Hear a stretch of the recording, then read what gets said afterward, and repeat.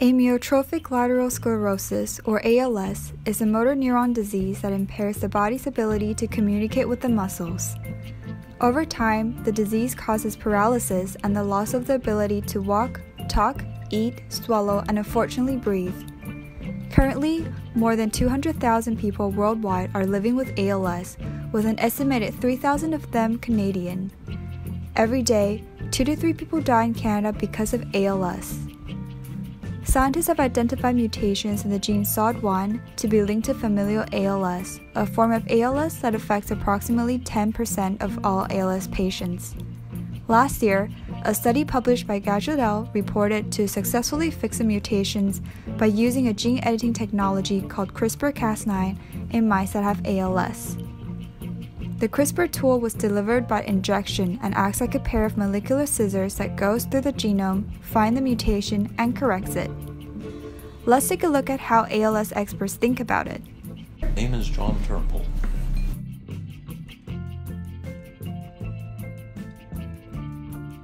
ALS is a poorly understood disease that affects voluntary muscles, and as a result, uh, any muscle that you can voluntarily move can and probably will become affected and indeed paralyzed uh, as the course of ALS progresses. Hi, I'm Vladimir Ljubicic. I'm an assistant professor in the Department of Kinesiology at McMaster University, and our laboratory studies the mechanisms that regulate the maintenance and remodeling of the neuromuscular system in health and disease. ALS, uh, amyotrophic lateral sclerosis, is a uh, progressive and severe health and life limiting neuromuscular disorder. The most popular drug treatment is a drug called riluzole, and it's marginally effective at best. More effective treatments are things like breathing support, nutritional support. Another treatment that was uh, approved uh, very recently, within the last uh, year or so, called Radicava, also is thought to work through uh, a similar kind of mechanism. Uh, that is the, the reduction of oxidative stress uh, within muscles and nerves. It's very difficult to treat because we don't understand it. So we don't understand why people get ALS, and we don't understand once they have ALS why they uh, decline either quickly or slowly. Uh, poorly understood and untreatable from that point of view. The mechanisms that result in the appearance and progression of the disorder are very complex, and furthermore, the etiology of the disorder uh, is largely unknown.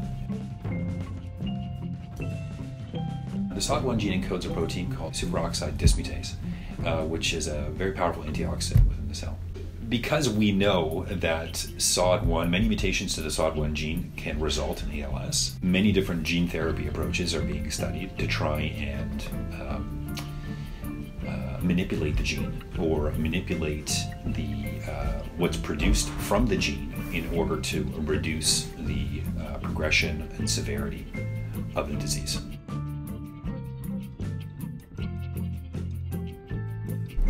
Think there is a major breakthrough right now. As of yet, we don't have uh, good treatments for any even of the known genetic abnormalities.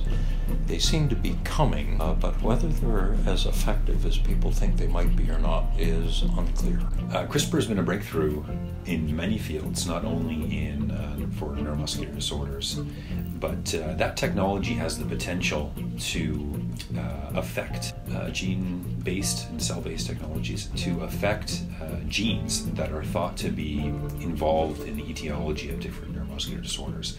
Uh, these genes can be excised from the genome or they can be manipulated in such a way that uh, reduces the appearance of these toxic factors that lead to the appearance and progression of ALS.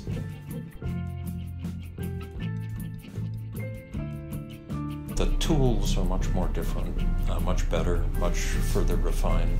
Uh, stem cells have come to the fore, and that technology didn't exist before. we have the wherewithal to correct genetic mutations in many of these in many of these diseases. For example, we didn't we didn't know that C9orf72, which we now know accounts for the majority of ALS causing mutations that we're aware of, uh, that hadn't been discovered yet.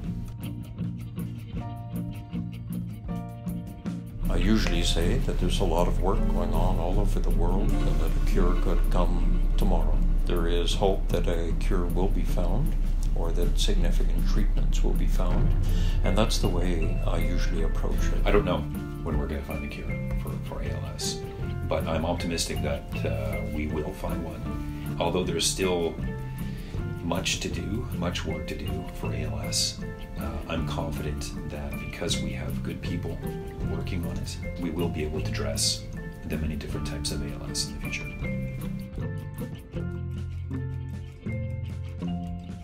They're a wonderful group of people. I mean, these are people that are usually very courageous in the face of a, of a fatal disease, and uh, it's actually wonderful to see how adaptable and how resilient the human spirit is.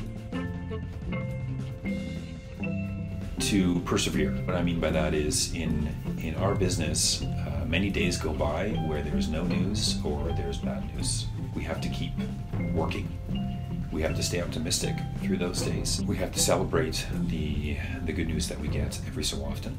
When that happens, it's it's motivating and inspiring